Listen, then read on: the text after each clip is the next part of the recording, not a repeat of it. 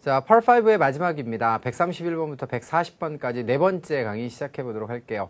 자, 31번부터 40번까지는 좀 나름대로 이제 고난이도죠. 매 회, 회차 마다. 자, 기본적으로 A, B, C, D 선택지로 깔리는 단어들의 수위 자체가 높아요. 수위 자체가 높다는 얘기도 사실 우스운 거 아니에요? 예, 원어민 입장에서는 하나도 안, 안 높지만 이제 학습을 시작한 지 얼마 안 되는 학생들은 많이 보이는 단어들부터 외우게 마련이잖아요. 그렇다면 많이 보이지 않았던 어떤 단어들이 선택지로 깔릴 가능성이 높다는 얘기예요. 자연스럽게 오답률이 높아질 수도 있겠죠. 자, 그러면 어, 더욱더 여러분들이 복습할 내용들이 많아지는 것 뿐이지 사실은 뭐 대단하거나 이런 게 나오는 게 아니에요. 그러니까 자, 이번 강도 마찬가지로 좀 더 틀리셨을 수는 있지만 자, 또 뭐 나오는 내용들을 잘 보강하면 되겠죠. 자, 보강 한번 시작해 보도록 할까요? 자, 31번부터 바로 가겠습니다. 자, 30번 보세요. A, B, C, D의 선택지가 모두가 다 명사로 구성되어 있는데 여러분들이 모르는 단어가 있나요? 이건 중요성, 자, 이것은 타이밍이잖아요, 말 그대로. 자, 그 다음에 expertise, 저런 단어는 좀 어려운가요? 전문성이 되겠습니다. 자, 그리고 D번의 arrival은 도착입니다. 자, 그러면 어, 어떤 명사가 들어가는 게 가장 좋을까요? 그래요? Analyzing all the financial data to identify relevant information for this investigation. 어우, 좀 거창한데요? 모든 재정적인 어떤 데이터를 갖다가 분석하는 거예요. 근데 목적이 뭐죠? 뭐 하기 위해서 분석하는 거예요? 자, to부정사는 목적어 뒤에 나오게 되면 목적어로 수식하는 형용사가 될 수도 있고 부사가 될 수도 있으니까 두 가지 이상의 역할을 할 수 있다라고 하면 그 다음에 우리가 동원할 수 있는 것은 문맥밖에 없어요. 근데 이것은 부, 사로 판단하는 게 맞죠. 그러니까 왜 분석을 합니까? 바로 식별하려고, identify, 확인하려고. 뭐를요? 자, 바로 관련성 있는 정보가 되겠습니다. 근데 그 정보를 갖다가 우리가 확인하는데 뭘 위해서 그런 거예요? 어떤 수사 및 조사가 있어요. 수사하고 조사를 하는데 그 수사와 조사를 위해서 관련 정보를 확인하기 위해서는 그죠? 네. 자, 확인하기 위해서 모든 파이낸셜 데이터를 분석합니다. 됐죠? 자, 그리고 그 분석하는 것은 이건 동명사 주어가 되는 거예요. 자, 그렇게 분석하는 것은 어떻습니까? 필요로 하는데요. 자, a great deal of는 수거 표현입니다. much의 뜻이고 그다지 난이도가 많이 높은 수거는 아니에요. 그래서 자, much라고 하는 의미로 사용되는 a great deal of도 자, 여러분들이 모르시는 학생들은 외워 두셔야겠죠. 많은 무엇입니까? forensic accounting 이렇게 돼 있어요. 이 단어는 모르시면 여러분들 안 하셔도 괜찮습니다. forensic이라고 하는 단어는 자, 모르시면 안 해도 상관이 없어요. 자, 이것은 원래 감식의라고 하는 그런 뜻이 있고요. 자, 그래서 이거 몰라도 자, 회계에 대한 뭐뭐뭐. 회계 뭐뭐뭐. 많은 회계 뭐뭐뭐를 필요로 할까요? 그러니까 조사를 하기 위해서 관련 정보를 갖다 분석한단 말이에요. 그것을 하기 위해서 자, 재정 데이터를 갖다가 그 재무 데이터를 갖다가 다 분석을 해 본단 말이야. 그 분석하는 것이 필요로 하는 건 바로 뭘까요? 전문성을 필요로 하는 것이겠죠. 맞죠? 이 forensic이라고 하는 단어는 여러분들이 몰라도 크게 상관이 없는 단어예요, 사실은. 자, 그래서 어려운 단어이기 때문에 외우지 않으셔도 좋겠습니다. 자, 그래서 결과적으로 자, 회계적 전문성을 필요로 한다라고 보시는 것이 맞죠. 자, 그래서 131번은 정답을 C번으로 자, 선택하시면 돼요. 자, 31번은 선택지보다도 자, 지문 자체에 대한 해석이 여러분들 자, 만만치 않았습니다. 아, 지문이라고 제가 표현을 했나요? 지문이 아니라 문장이죠. 이 문장 자체에 대한 해석이 그렇게 많이 쉽지는 않았던 그런 문장이에요.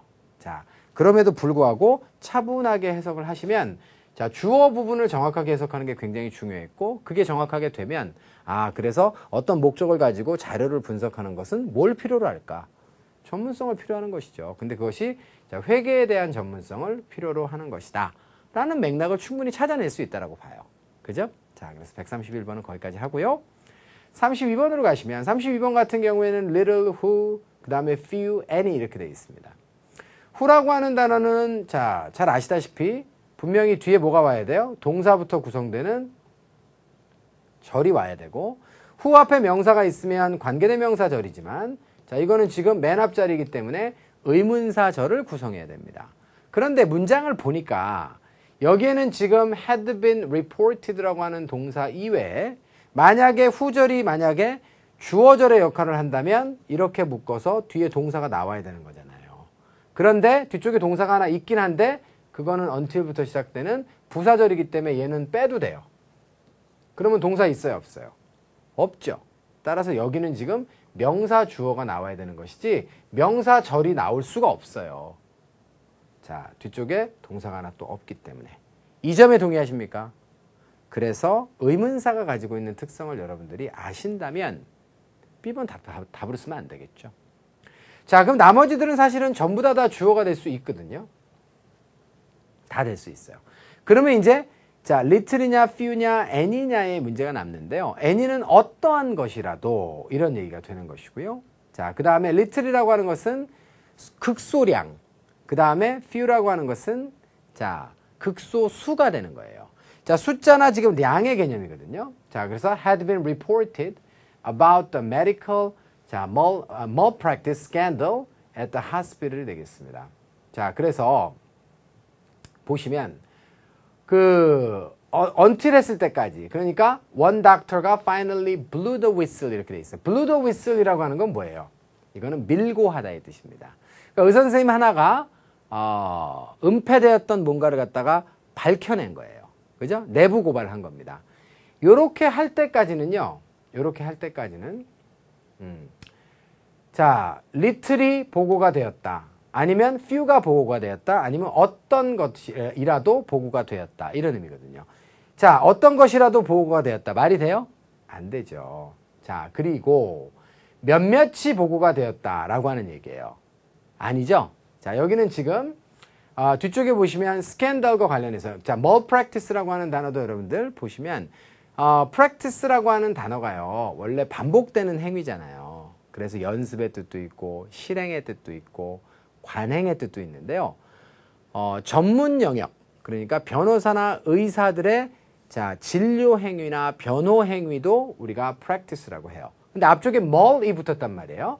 mal은요 잘못됐다는 얘기예요. malfunction 그럼 오작동이거든요. 여기서도 마찬가지로 여러분들 자 그래서 malpractice라고 하는 것은 불법적이고 위법적인 그런 의료 행위, 의료 과실 이런 것을 우리가 malfunction이라고 해요. 왜냐하면 여기 의사 선생님이 나왔기 때문에. 어렵죠? 다시 practice라고 하는 단어 자체에 반복되는 행위의 뜻이 있기 때문에 전문가, 특히 변호사나 의사의 반복적인 그런 업무 행위의 뜻이 있어요. practice에는. 그런데 머리 붙었으니까 잘못된 업무 행위. 다, 시 말해서 과실, 의료 과실이라고 번역하겠습니다. 이해되셨어요? 그래서 의료적인 그런 어떤 과실의 스캔들이 났습니다. 병원에서. 자, 거기에 대해서 보고된 게 거의 없어요. 이런 얘기가 되겠어요. 자, 이해되셨습니까? 오케이? 자, 그렇다라고 봤을 때는 보고된 게 거의 없으므로 어떤 것이라도 보고가 되었습니다. 언제까지? 한 의사가 팡 터트리기 전까지는 보고된 게 거의 없어요. 라고 하는 그런 내용이 성립돼야 되기 때문에 기본적으로 D번도 안 되고 A번과 C번이 정답이 될 수가 있는데요. 자, 거기에서 여러분들은 어떻죠? 자, few는 소수, 몇몇 개의 의미고, little은 자, 소량이에요. 그런데 하나의 사건에 대해서 일부분의 소량을 말하는 거죠. 몇 개가 있는 게 아니라 지금. 그렇기 때문에 스캔들 하나에 대해서 하나 중에서 하나의 스캔들 안에서 일부분의 소량 부분을 의미하는 것이기 때문에 자 개수가 몇몇 개 있어야 되는 few는 답이 될 수 없어요. 이해되셨어요? little과 few는 똑같이 적은 것의 뜻이 있습니다. 근데 숫자가 적은 것은 few라고 하고 량이 적은 것은 little이라고 해요. 여기서는 지금 숫자가 자 적어서 몇몇 개 소수가 돼야 되는 개념은 아니라는 거예요. 이해가 되셨죠? 자 그래서 이 문제는 정답을 A번에 쓰셔야 맞고요. 자 직역을 하면 그래서 극소량이 매우 조금 이 보고가 되었다는데 요거를 갖다가 번역을 하면 어떻게 돼요? 거의 아무것도 보고되지 않았다라고 번역하시는 게 여러분들 맞습니다. 자, 이해가 되셨나요? 오케이. 그래서 셀 수 있는 여러 개 중에서 자, 소수의 몇몇 개를 우리가 의미할 때는 few를 쓰는 거지만 여기서는 그럴 근거가 없죠. 스캔들 하나를 놓고 지금 스캔들의 자, 극소수 부분, 그러니까, 그러니까 극히 적은 부분을 말하는 것이기 때문에 자, 그 이때는 여러분들이 뭘 쓰는 게 맞아요? 자, little를 쓰는 것이 맞겠다. 이렇게 보시면 되겠어요. 자, 이해가 되셨습니까? 오케이. 자, 그래서 132번도 선택지 구성에 비해서 자, 지금 문장 해석 자체가 굉장히 여러분께 좀 어려웠을 것이기 때문에 자, 필요한 단어들 꼭 챙겨서 잘 외워두시고 30번 때 문제는 원래 이래요. 예, 그러니까 어, 그 영어에 숙달된 학생들은 자, 이게 이제 해석이 잘 될 테니까 해석이 잘 되면 당연히 정답률이 높아지는 것인데 자, 이제 실제로 그렇지 않은 학생들이 굉장히 많겠죠. 이제 공부 시작한 지 얼마 안 된 학생들 같은 경우에는 이런 단어를 여러분들이 보신 경험들이 이렇게 많지 않을 거예요. 그래서 자 많지 않다라고 하는 건 당연히 오답으로 연결될 가능성도 굉장히 많은 거거든요. 왜냐면 해석이 완전치 않으니까. 자 그래서 제가 옆에서 도와드렸으니까 자 그 도움을 바탕으로 해서 자 필요로 하는 표현들은 암기를 하시고 자 외워서 다음번에는 실수하지 않도록 그렇게 준비하시면 되겠어요. 됐죠? 33번 sector 분야 adequacy 충분함 inclusion은 포함 그다음에 acceleration은 뭐 가속이라고 하는 의미가 되겠습니다. 전부 명사예요. 그 명사 어휘 문제죠, 뭐. 그죠? 자, 그렇다라고 했을 때 자, 주어는 뭔가요? 세단입니다. 승용차예요. 유명해요. 그죠? 뭐 때문에 유명한가요? 자, 부드러운 뭐뭐뭐와 handling 때문에. handling은 다루는 거죠. 그죠? 예, 그래서 예, 조작으로 번역하겠습니다. 자, 그래서 스무스한 조작과 스무스한 뭐뭐뭐로 유명하다. 이런 얘기인데. 스무스한 뭐? 자동차니까 가속이겠죠. 뭐 충분함, 포함, 분야 안 되겠죠? 그래서 accelerate가 가속하다의 뜻이니까 자, 여러분들 133번의 정답은 D로 보시면 되겠어요. 자, 우리나라 사람들은 보통 accelerator라고 많이 하는데 accelerator라고 해야 정확하게 맞는 표현입니다. 아시겠죠? 자, 그래서 자, D번의 단어도 여러분들에게는 친숙할 수 있었던 단어가 아닐까라고 하는 추정을 한번 해봅니다. 자, 그 다음에 34번으로 가시면요. A, B, C, D의 선택지가 이제 자, 품사가 아, 서로 같아요. 뜻도 같아요. 요것은 자, 바로 어법 문제가 되겠습니다. 동사의 어법 문제는 뭐죠? 수, 태, 시제를 따져서 어, 맞는 동사를 구성하라는 거거든요. 그런데 이 자리에 만약에 동사가 나온다라고 치면 that 이하에 자, 뭐가 나온 거예요? 동사가 나온 것이니까 기본적으로 뭐가 가야 되죠, 여러분들? 자, 그렇다라고 한다면 이제 숫자를 판단해야 되는데 주어가 없는 거잖아요. 주어는 어디 갔어요? 관계대명사에서 주어가 없다라고 하는 것은 선행사와 중복되는 단어가 주어였다는 의미잖아요. 자, 그래서 생략된 주어는 이 녀석이에요. plant operations가 되겠습니다. 그 plant operations라고 하면 어떻습니까? 네. 그러면 여러분들 정답을 어디다 쓸 수밖에 없어요? 자, 일단 숫자부터 따져보면 얘가 복수의 주어니까 자, 어떻게 되나요? 네. 일단 기본적으로 얘를 지워야겠죠. 그 다음에 태로 가보시면요. indicate는 show의 뜻이라 그랬잖아요. 뭐뭐를 보여주다. 타동사 판단을 할 수 있어야 되는 단어예요. 자동사 없습니다. 그러면 자 얘는 had been pp가 아니네. bpp가 있어야 수동이거든요.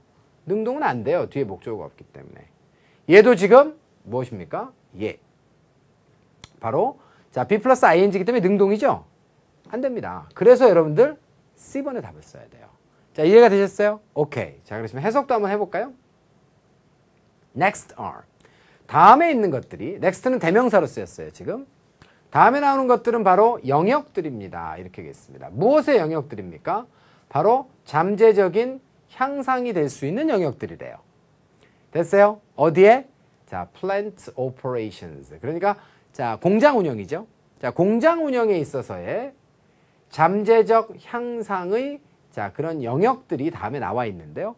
자, 그런 잠재적 향상이라고 하는 것이 자, 어떻게 되겠습니까? 자, 바로 어, 그 by 이하에 의해서 supervisors와 employees가 되겠어요. 그러니까 요건 supervisors는 감독관들, 요건 직원들이죠. In a recently conducted surveys 이렇게 돼 있어요. 최근에 수행된 survey에서 자, 최근에 수행된 survey가 있어요. 자, 그래서 자, 그 서베이에서 이 사람들에 의해서 자, 어떻게 됩니까? plant의 operations가 어떻게 되겠어요, 여러분들? 보여질 수 있어요? 자, 보세요. 보여줄 plant의 operations. 그러니까 공장의 운영이 이 사람들에 의해서 자, survey에서 보여질 수 있어요? 잠깐. 이거는 그렇다면 야, 큰일 날 뻔했네. 선행사가 얘가 아니란 얘기예요. 알겠죠? 예. 네. 자, 그러면 자, 향상이 보여지는 겁니까? 잠재적인 향상이 바에 의하에 보여지는 거예요? 아니에요. 설문조사지 안에서 이 사람들에 의해서 보여지는 것은 자, 바로 영역들이에요, 영역들. 이해되셨습니까? 오케이. 그래서 자, 공장 운영에 있어서 잠재적으로 향상될 수 있는 영역이 뭐냐라고 하는 그 영역들이 이 사람들에 의해서 설문조사지에 의해 의- 설문조사지 안에 나타날 수 있다는 거예요. 이해되셨습니까? 그래서 사실은 이 문장은 자, 이, 문, 이 문제는 말입니다. 선행사라가 누구예요? areas가 되는 거예요. 자, 그러면 결론적으로 areas이기 때문에 정답은 바뀌지 않았지만 이거는 여러분들 큰일 날 문제네. 잘못하면. 왜 큰일 날 문제예요? 만약에 여기에 복수명사를 주지 않고 단수명사를 줬으면 여러분들에게 여러분들 어떻게 하겠죠? 생략된 주어가 얘라고 그냥 생각할 거 아니에요. 해석 없이. 그러면 여기에 단수 동사를 찾았을 거 아닙니까, 지금. 맞죠? 예, 그래서 운이 좋아서 얘도 복수고 얘도 복수였기 때문에 정답을 뭘로 잘 골랐어요, 우리가 지금? 네. 얘로 잘 골라냈지만 실제로 134번 문제는 여러분들이 이런 유형을 시험장에서 만나시게 되면 굉장히 조심하셔야 돼요. 자, 이런 유형이란 무엇이냐? 정리를 하면 앞에 명사가 하나만 보입니다. 그러면 당연히 대시든 위치든 후든 관계대명사가 주격으로 오고 동사가 왔을 때는 선행사가 누구예요? 자, 얘를 명사 이라고 하면 당연히 이 아이가 자, 이 동사의 주어예요. 무슨 말인지 알겠죠? 그런데 전치사 플러스 명사가 오고 자, 그 앞에 명사가 1이 왔는데 보세요. 이 명사는요. 형용사 구로부터 한 번 수식받고 형용사 절로부터 또 한 번 수식받을 수도 있어요. 물론 형용사 구로부터 수식받고 이 명사가 뒤에 있는 형용사 절로부터 수식받을 수도 있고요. 따라서 이 아이의 역할은 명백하게 앞에 있는 명사를 수식하는 것입니다. 하지만 that 이하는 얘를 수식할 수도 있고 얘를 수식할 수도 있기 때문에 자 실제로 여러분들 선행사가 관계대명사의 바로 앞에 있는 명사다 100% 이건 아니에요. 알겠죠? 100% 그런 건 아니에요. 자 여기서도 마찬가지로 공장의 운영이 설문조사지 안에서 직원들에 의해서 보여지는 게 아니에요. 어떤 영역들이 보여지는 거라고요, 지금. 향상의 영역들이 여기 있을 것 같아 라고 하는 그 영역들이 설문조사지 안에서 보여지는 상황이라고요. 자, 그래서 이 문제는 만약에 여러분들께 여기를 단수로 줬으면 우수수수수수수 틀렸을 문제예요. 이해되셨죠? 자, 그래서 엄밀하게 얘기하면 이렇게 되는 거죠. 이제 얘는 누굴 수식해요? 얘는 이- 얘를 수식합니다. 그 다음에 in plant operations는 뭐가 되겠습니까? plant operations 그죠? 예, 그러니까 공장 운영에 있어서의 향상을 말하는 거예요. 그래서 자 형용사가 누굴 수식한다? 얘를 수식하고 자, 얘는 또 얘로부터 수식받는 거죠. 결론적으로 크게 보자면 선행사가 누구예요? 이 전체가 다 선행사고 여기에서 that 이하로부터 수식받는 진짜 명사는 누구다? 바로 이 녀석이 됩니다. 만약에 문맥상 자 that 이하가 수식하는 명사가 얘였다면 다 틀렸을 거예요 아마 여러분들이. 자 그래서 답을 맞았다라고 이 문제는 여러분들이 좋아하시고 만족하실 만한 그런 문제는 절대 아니었어요. 자 무슨 말인지 아시겠죠? 그래서 134번은 별표를 좀 쳐두시기 바랍니다. 예문을 하나 여러분들 좀 더 드려볼까요? 이런 경우는 굉장히 쉬워요. 자 그래서 어, 예를 들자면 음, 사람이 나옵니다. 그 다음에 in the factory 이렇게 나와 있어요. 그리고요 이렇게 되면 공장 안에 있는 사람들 이런 얘기거든요. 여기에 관계대명사를 여러분들이 써, 써야 돼요. 그런데 뒤쪽에 내용이 만약에 어떠어떠한 공장이라고 하면 여기는 당연히 위치를 써야겠죠. 그런데 꼭 선행사가 팩토리가 되는 게 아니라니까요. 어떠어떠한 공장 안에 사람들 이렇게 될 수도 있어요. 그렇게 되면 어떠어떠한 사람들, 공장 안의 사람들 이렇게 되는 거예요. 이해되셨어요? 오케이. 그래서 관계대명사가 일반적으로 바로 앞에 있는 명사를 수식하는 경우의 수가 많은 건 맞아요. 그런데 명사가 하나 있을 때는 당연히 걔를 수식하는 거겠지만 자 전치사 플러스 명사로 연결되고 또 앞에 명사가 나와 있을 때에는 그때는 자 반드시 선행사가 누구인지를 판별하셔야 됩니다. 이거는 뭐와 똑같은 거냐면 명사 앞에 형용사가 오고 또 다른 형용사가 올 수 있는 것과 똑같은 거예요, 여러분들 지금. 그러니까 자, 경우의 숫자는 낮지만 자, 또 다른 형용사가 정답이 되는 경우도 있기 때문에 자, 134번 문제는 굉장히 주의를 기울이셔야 되는 그런 문제다라고 다시 한번 강조를 드리도록 하겠습니다. 아시겠죠? 자, 그래서 자, 최근에도 자, 이런 문항이 출제가 된 바가 있어요. 이런 유형이. 그러니까 선행사를 여러분들이 선택할 적에 관계대명사절 바로 앞에 있는 명사가 항상 선행사다라고 하는 고정관념을 너무 강하게 가지고 있으면 문장 해석도 안 되고요. 자, 그리고 적절한 관계대명사도 찾아내실 수 없는 경우도 있어요. 여기처럼 반대로 동사의 숫자를 찾아라라고 하면 자, 정확하게 이 전체가 주어예요. Areas of potential improvement in plant operations were indicated by 이렇게 되는 것이기 때문에 자, 바로 요 녀석이 주어였다라고 하는 것을 정확하게 좀 알아두셨으면 좋겠습니다. 자, 이해되셨습니까? 오케이. 그래서 거듭 설명하고 또 설명하고 또 설명했으니까 충분히 이해가 됐으리라고 봐요. 35번. 35번의 A, B, C, D의 선택지가 모두가 다 동사입니다. contact은 연락 접촉하다의 뜻이죠. 이 단어는 자동사처럼 보이지만 항상 타동사로만 쓴다는 사실이 굉장히 중요한 동사예요. 그러니까 뜻만 알아서는 안 되는 동사죠. 두 번째로 simplify는 그냥 뜻만 알아도 돼요. 뭐뭐를 단순화하다의 뜻이니까. outweigh는요. 뭐뭐를 능가하여 무게가 더 나가다의 뜻이에요. 무게가 더 나간다는 게 물리적으로 무게가 더 나가는 것뿐만 아니라 더 중요하기 때문에 그죠? 더 묵직하다의 뜻입니다. 뭐뭐를 능가해서 더 묵직하다. 그래서 우리말로 번역할 때는 번역, 직역 말고 자 직역하면 뭐뭐뭐를 능가해서 더 중요하다의 뜻이고 자 번역하면 뭐뭐보다 더 중요하다의 뜻으로 많이 쓰여요.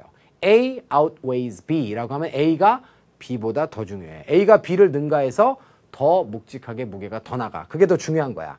이런 맥락으로 쓴단 말이에요. 이해되셨어요? 보통 out이 앞쪽에 붙잖아요.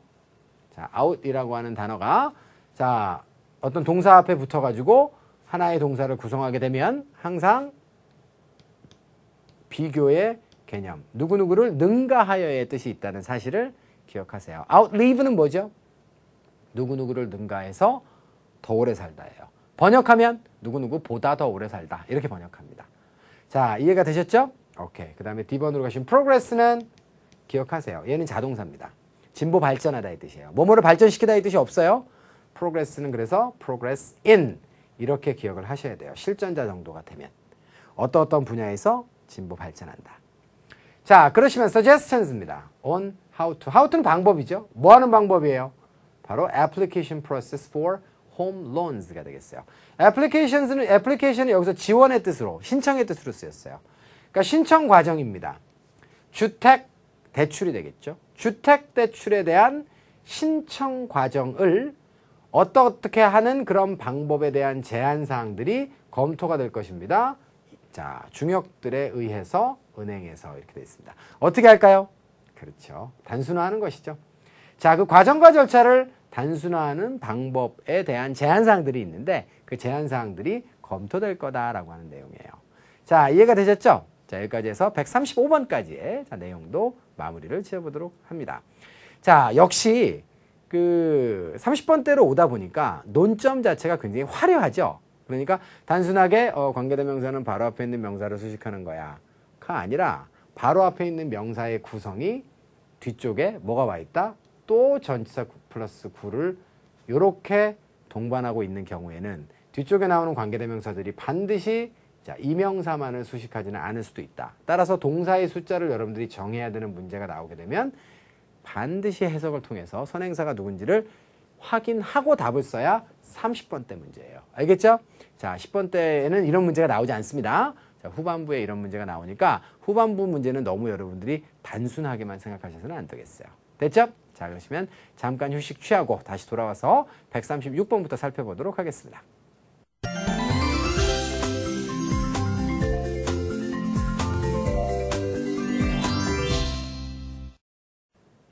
자, 36번부터 마지막 다섯 문제 좀 달려보도록 하겠습니다. 준비되셨죠? 자, 그러시면 바로 시작해 보도록 합니다. 자, ABCD의 선택지가 자, 품사가 서로 달라요. 당연히 형용사라고 생각하겠죠? 그런데 여러분들 이제 실전자 정도가 됐으면 케미컬은 명사로도 쓴다는 사실을 꼭 함께 기억해야 돼요. 영어는 품사가 럭비공이잖아요. 그래서 명사형이 따로 있는 경우도 있지만 두 가지로 함께 쓰는 경우도 되게 많아요. 보시다시피 s가 붙어 있습니다. 형용사로는 화학적인, 자 부사로는 아, 명사로는 화학 물질의 뜻이에요. 자, 케미컬리는 화학적으로, 케미스트는 화학자입니다. 그럼 여기는 어떤 품사가 들어갔으면 좋겠어요? 주어와 동사 사이인데 당연히 부사가 들어가야겠죠. 그리고 해석으로 검산해 보세요. 자, 바로 hardware, hardwood preserver. 이거는 무슨 제품 이름인 것 같아요. 보존하는, 그죠? 딱딱한 나무를 갖다가 보존하는 어, 어떤 음, 상품이다. 그죠? 이렇게 보시면 되겠습니다. 자, 그래서 그 상품이 어떻습니까? 제거합니다. 뭐를요? 자, organic dirt. 유기적인 먼지가 되겠어요. 어디로부터? 자, 마룻바닥으로부터. 됐습니까? 표면으로부터 먼지를 제거합니다. 어떻게? 화학적으로 제거하는 거겠죠. 자, 그래서 36번 문제는 휴, 30번 때 문제인데 정말 쉽다. 이렇게 하고 넘어가시면 되겠어요. 37번으로 가시면 ABCD의 선택지는 자, 모두 품사가 같습니다. 혁신적이고요. 불확실하고요. 자, 그 다음에 잠재적이고요. 물론 potential은 자, 형용사와 잠재 가능성이라고 하는 명사로도 씁니다. 주의하시고 자, D번에 billable이라고 하면 자, bill이라고 하는 단어가 원래 청구서의 뜻이 있잖아요. 그래서 bill이라고 하는 billable이라고 하는 것은 청구 가능한, 청구할 수 있는 그런 뜻도 있고요. bill이라고 하는 단어에는 법안의 뜻도 있어요. 자, 그래서 자, 요 단어에는 기소 가능한이라고 하는 그런 뜻도 있습니다. 법정 용어로. 아시겠죠? 자, 기소가 가능한 거예요. 그런데 여러분들은 청구 가능한 이 정도의 뜻만 알고 있어도 괜찮을 것 같아요. 자, 그러시면 답을 한번 써보도록 하겠습니다. 회사의 경영진이 칭찬했습니다. 누구를요? 자, 관리자들, 감독관들을 칭찬했어요. 뭐에 대해서 칭찬했나요? 자, 그들의 솔루션스에 대해서. 에이, 솔루션스는 되게 혁신적이었나 보네. 맞죠? 예. 혁신적 해법입니다. 자, 그 해법이 뭐에 대한 해법이에요? how to, 방법이에요. 자, 컷합니다. 잘라냅니다. 뭐를요? raw material cost. 아, 얼마만큼? 15%만큼. 자, raw material이 에, 원자재의 뜻이죠. 그러니까 원자재 비용을 15%만큼 잘라내는 거예요. 줄이는 것이죠. 자, 줄이는 방법에 대한 솔루션을 내놨는데 되게 혁신적이었어요. 그 솔루션에 대해서 자, 공장의 관리자들을 칭찬했다. 경영진이. 이런 얘기가 되겠어요. 이해가 됐습니까? 오케이. 그래서 137번도 어, 어렵지 않게 여러분들이 정답을 A번으로 잘 쓰셨을 수 있었으리라 봅니다. 자, 38번으로 가시면 38번의 A, B, C, D의 선택지가 모두가 다 품사가 달라요. nonetheless라고 하는 단어는 nevertheless와 똑같죠. 그럼에도 불구하고 부사입니다. Insofar as는 여태까지 토익에서요. 선택지로 간간히 등장하긴 하는데 정답으로 채택된 적은 한 번도 없는 단어예요. 자, insofar as는 자, 누구누구가 뭐뭐 하는 한. 그 이런 뜻이죠. 뭐뭐 하는 한에 있어서는 그런 뜻입니다.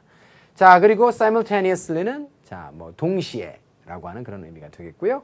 그 다음 regardless of는 전치사입니다. 그래서 부사, 접속사, 부사, 전치사.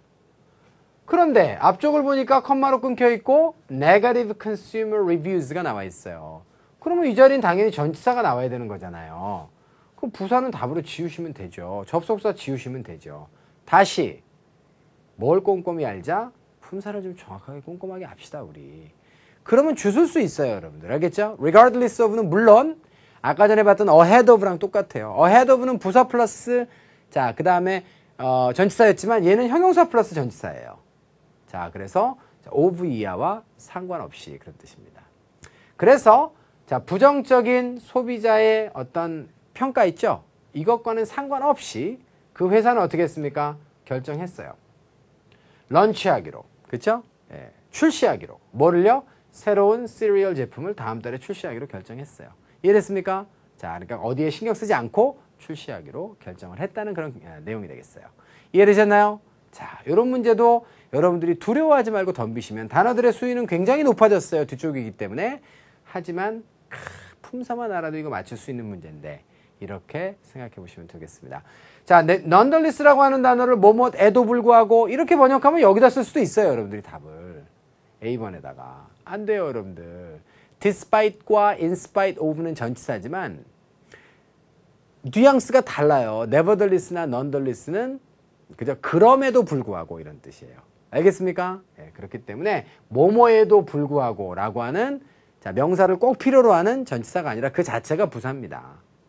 자, 요런 뉘앙스 차이를 느껴야 품사의 차이도 느껴지고 그래야 자리도 여러분들이 알 수 있는데 그냥 불구하고 대충이 죽지 않으면 대충은 우리 몸속에 사는 흉측한 벌레예요. 알겠죠? 그 대충이라고 하는 벌레가 죽지 않으면 자꾸 이런 것들이 스물스물 올라와서 A번에 오답을 낸다고요. 지금 틀린 학생들 뜨끔하죠? 자, 앞으로는 품사 정확하게 하세요. 알겠죠? 제가 품사, 품사, 품사 노래를 부르잖아요, 항상. 자, 39번. highly, slightly, rarely, previously. highly는 매우의 뜻이 있죠. 그 다음에 높은 수준으로 이런 뜻이 있습니다. 그래서 자, in a high level or high uh, standard 이런 뜻이 있어요. 높은 어떤 표준, 기준으로 이런 얘기가 되는 거예요. slightly는 조금, rarely는 거의 뭐뭐하지 않다, previously는 이전에 이렇게 되겠습니다. 자, 그래가지고 consumer price니까 소비자 물가입니다. 요거는 지수죠. 인덱스는. 자, 그래서 주어를 다시 한번 정하면 자, 동사가 바로 rose가 뒤에 나오니까 여기까지가 주어네요. 소비자 물가 지수가 올라갔어요. 예전에 올라갔습니다. last week에 올라갔습니다. 이렇게 두 번 중복될 수는 없죠. 자, 그 다음에 자, 거의 올라가지 않았습니다. 이렇게 하려면요. 여러분들 빈도부사라고 해요. 빈도부사. 빈도부사는 뭐죠?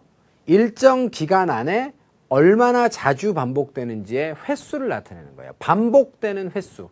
그냥 횟수는 빈도부사라고 하지 않아요. 한 번, 두 번, 세 번은 횟수예요, 그냥. 그런데 자주라고 하는 것은 정해진 기간 안에 반복이 잦다는 얘기예요. 이해됐습니까? 그래서 반복되는 횟수를 나타내는 빈도부사는요. 자, 어디에 쓴다? 바로 위치가 거의 정해져 있습니다. 물론 현대 영어에서는 좀 흐트러지고 있긴 하지만 위치가 정해져 있죠. 그래서 학생들에게 자, 여러분들도 요즘에도 이 노래 많이 부르니까 이렇게 외워두실 것을 권장합니다. 자, 조동사 뒤에 와요. 자, 그 다음에 일반 동사 앞에 옵니다. I will always love you.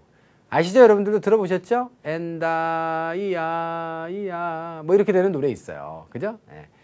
자, 그래서 always라고 하는 게 항상이죠. 횟수의 차이만 있고요. 요거는 항상이고 얘는 뭐예요? 거의 뭐뭐하지 않지만 빈도수가 아주 낮은 것일 뿐이지 같은 계열의 부사예요. 또 뭐 있을까요? always 말고 almost가 있어요. 그죠? 네, 거의. 또 usually가 있습니다. 이런 단어들 있죠? 이런 단어들은 어순에 여러분들 맞춰서 쓰셔야 돼요. 또는 often이 있습니다. 종종, frequently 이런 단어들이 있어요.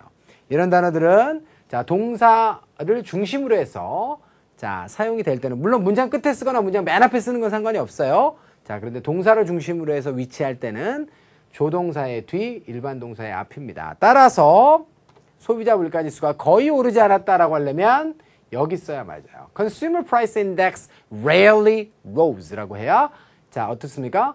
자 거의 뭐 오르지 않았어요. 이런 얘기가 되는 거예요. 이해가 되셨습니까? 자, 그래서 자, C번의 선택자 여러분들 자, 주의하시기 바라고요. 알겠죠? 자, 그리고 그렇다라고 한다면 이제 highly와 slightly만 남아 있습니다. 자, 그런데 highly는 어떻죠? 여러분들 높게 올랐습니다. 이렇게 해석하시면 안 돼요. 알겠죠? 자, 그렇게 높게는 뭘로 쓴다? high로 그냥 쓰셔야 돼요. late를 아까 전에 봐드렸지만 high도 마찬가지로 형용사 부사 동일형입니다. 자, 높은 표준. 알겠죠? 자, 이런 높은 level 이런 것이기 때문에 자, highly는 답이 될 수가 없어요. 이것도 높게라고 한국말로 번역되는 경우가 있긴 있어요. 그래서 제가 아까 전에 정의를 영어로 드렸 잖아요. 자, 그래서 to a high standard예요. 높은 수준으로 라고 하는 뜻이기 때문에 아니, 높은 표준, 높은 기준 이런 것이기 때문에 이것 쓰면 안 되고요. 조금 올라갔다가 맞아요. 알겠죠? 자, 지난달에 조금 올라갔어요. 알겠습니까? 오케이. 하지만 어떻습니까? 이코노미스트. 경제학자들은 어떻죠? 자, 그, 그것이 떨어질 거라고 예상하고 있어요. 자, 다가오는 몇 주 이후, 몇 주 안에는 이렇게 돼 있네요. 자, 이해가 됐습니까? 오케이. 그래서 39번 같은 경우에 상당히 어려운 그런 부사 문제였습니다. 자, rarely 같은 경우에는 거의 뭐뭐 하지 않다의 뜻인데 이거는 왜 안 될까? 자, 이것은 어순상 빈도부사기 때문에 일반 동사의 앞에 나와야 맞아요. 자, 아, 아까 전에 제가 하나 빼먹었네요. 비동사가 나왔을 때는요. 비동사 다음에 빈도부사가 나오는 거예요. 빈도부사는 비동사의 다음에 나옵니다. 그리고 그 예문을 보시면 조동사 뒤 일반 동사 앞이라고 하는 걸 기억할 수 있을 거예요. 물론 부사는 문장 맨 앞으로 도치될 수 있고 맨 끝으로도 갈 수 있죠. 그 경우는 뭐 당연히 올 수 있습니다. 그런데 동사를 중심으로 해서 앞뒤로 쓸 때는 반드시 이 어순을 여러분들이 지켜주셔야 해요. 자, 이해가 되셨나요? 오케이. 자, 그래서 rarely 그렇게 지웠고요. highly라고 하는 단어도 한국말로는 높게라고 번역될 수 있으나 자, 어떻게 해야 돼요? rose high. 뭐 이렇게 돼야 맞는 것이고요. 자, rose highly는 맞지 않아요. 알겠죠? 그래서 high standard가 돼야 되기 때문에 영어적 정의 high standard라고 하는 영어적 정의를 기억하시면 A번도 답이 될 수 있다는 사실을 아, 답이 될 수 없다는 사실을 알수 있을 것이고요. 양쪽으로 어떻게 조금 올랐다가 결국은 답이 되는 거예요. 이해가 되셨죠? 이 문제도 만만치 않았던 문제예요. 자, 140번 가겠습니다. 사실 여러분들 좀 틀리라고 이렇게 문제를 좀 어렵게 좀 만들어 봤어요. 예, 그러니까 너무 실망하실 거 없고요. 예, 그래서 차근히 뉘앙스 잘 챙기고, 어우, 30번 때 문제 이렇게 어렵게 나오는구나. 맞아요. 실제로 30번 때 문제는 조금 난이도가 좀 있게 나오니까 그런 점들을 잘 감안해서 자, 어, 대응하시고 자, 학습하시면 됩니다. 자, 꾸준히 공부하다 보면 이제 여러분들 스스로 안 해도 그런 어떤 영어적 어감과 뉘앙스 이런 것들이 이제 생기는 날도 올 거예요. 자, 선택지 보겠습니다. 모두가 다 동사는 아니죠. 동사 자리인지부터 먼저 한번 확정해 볼까요? 자, 이렇게 되겠습니다. 자, gold coins라고 돼 있고 find found가 있어요. 얘가 동사면 이 자리에 동사 못 나오죠. 그러면 죽는 거예요, 얘로. 그런데 found가 동사가 되려면 뒤에 목적어가 필요한 거죠. 왜냐면 타동사는 시제가 과거가 됐다 그래서 목적어를 안 취하진 않아요. find가 뭐뭐뭐를 찾다의 뜻이기 때문에 당연히 과거가 과거 동사가 됐으면 뒤에 목적어가 와야 되는 거예요. 근데 목적어가 안 왔다는 건 뭐죠? 수동 구조라는 얘기고 수동 구조라는 얘기는 뭐예요? 얘가 동사가 아니라 이렇게 수식하는 분사라는 얘기예요. 이 문장에서는 자, 이 부분이 사실은 동사가 아니다라고 하는 것이 첫 번째 핵심이에요. 자, 그러면 문장의 동사가 보여요? unless는 부사절이니까 뺍시다. 그러면 동사가 없으니까 B는 안 돼요. 그러면 결국은 이제 자 누가 답이냐를 정하는데 수태 시제 아니에요 이제 숫자부터 한번 따져보시면 코인즈가 나와 있는데 무슨 놈의 지금 has가 답이 된답니까? 안 되겠습니다. 자, 그 다음에 어, 그렇지. 그러면 이제 A번 아니면 D번이 되는데 태도 같아요. 그리고 시제로 가는데 이 시제는 아주 독특하죠. 잘 아시다시피 would have pp 가정법이에요. 그래서 뭐뭐 했었을 텐데 라고 하는 아주 특별한 상황에서만 쓰는 시제입니다. 일반적으로 자 여러분들 평상시에는 쓰지 않는 시제고요. 가정법에서만 과거에 뭐뭐 했었더라면 아유 이랬을 텐데 그러지 못했어 실제로는 이라고 하는 맥락에서만 쓸 수 있는 대단히 특별한 형태죠. 그래서 여러분들이 만약에 D번을 대입해서 말이 되면 거기다 쓰시고요. 아니면 A번에 쓰세요. 알겠죠? 선생님, if가 없는데 가정법 대입을 해요? 어, 맞아요. if가 없어도 가정법 대입을 하시고요. 여기는 특히 뭐가 나와 있어요, 여러분들? Unless가 나와 있잖아요, unless가. 뭐뭐 하지 않는다면. 이렇게 나와 있죠. 그러면 기본적으로 would pp가 오려면 가정법이 맞아야 되니까 뒤에 이렇게 현재 시제가 오면 되겠어요? 안 되겠죠? had pp가 나와서 과거에 뭐뭐 했었더라면 자, 뭐뭐 했었을 텐데가 나오는 게 맞죠? 자, 그래서 자, 정답은 여러분들 자연스럽게 A번에다 그냥 쓰시면 됩니다. 요렇게 좀 할 수 있었으면 좋겠어요. 네. 자, 그리고 만약에 그게 어, D번을 어디다 쓰는 건지 잘 모르겠으면 D번은 보류하고 A번이 말이 되는지를 따져보세요. 그래서 되면 쓰고 안 되면 뒤에다 쓰세요. 자, 어떤 동전이에요? 발견돼요. 어디에서? 자, 기차역에서. last year. 그러니까 작년에 기차역에서 발견되었던 그 동전들은 어떻게 됩니까? State General Fund가 되겠어요. 주정부의 일반 기금으로 자, 그 다음에 revert라고 하는 것은 복귀, 귀속되다 이런 뜻이거든요. 자, 그러니까 작년에 발견된 자, 그 동전들은 자, 복귀 귀속이 될 것이다. 뭐 하지 않는다면 만약에 청구가 되지 않는다면. 그죠? 네. 누구에 의해서 누군가가 되겠습니다. 누군가가 내 거예요. 라고 그것을 청구하지 않으면 언제요? 다음 달. 다음 달에 청구가 안 되면 자, 그건 어떻게 될 것이다? 일반 기금으로 어, 그것은 편입이 되고 복귀가 될 것이다. 이런 의미예요. 이해가 되셨어요? 자, 이 문제에서 하나 더 논점을 드리면 학생들이 이제 보통 보면 수식 관계를 정확하게 판단하지 못하는 학생들은요, 막 헤매요. 얘를 갖다 놓고 여기다 지금 미래 시제가 와야 되는 거 아니냐. 얘를 갖다 놓고 여기다 과거 시제가 와야 되는 것이 아니냐. 라고 하는 주장들을 펼쳐내는 학생들이 있습니다. 자, 그래서 영어는 어순이 중요한 것이고요. 그 어순에 따라서 해석, 그, 어, 해석과 수식의 대상이 결정되는 거잖아요. 여러분들 last year는 지금 동사로 수식하는 그런 부사가 아니고요. 누구를 수식한 거예요? 발견된 시점이 언젠지를 수식하는 거예요. 작년에 여기서 발견된 거거든요. 아니, 작년에 여기서 발견된 그 동전들은 앞으로 미래에 어떻게 어떻게 되면 안 돼요? 되잖아요. 그러니까 수식의 대상이 얘라고 했을 때는 발견된 시점이 과거라고 하는 것을 보여주는 것이지 이 주어가 미래에 어떻게 뭐뭐 할 것이다가 성립되지 않는다는 논리는 말이 안 되는 거예요. 반대로 unless 이하의 지금 next month는 누굴 수식하는 거예요? 얘를 수식하는 거예요, 지금. 다음 달까지 클레임 되지 않으면 이런 얘기라고요. 다만 자, 시간과 조건의 부사절에서는 현재가 미래를 대신하니까 여기는 지금 미래가 오지 않았을 뿐이에요.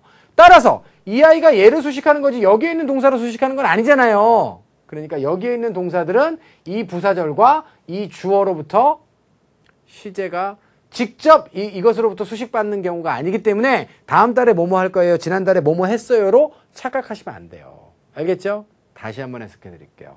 지난달에 역에서 발견된 동전이고요. 그 동전은 앞으로 어떻게 될 거래요.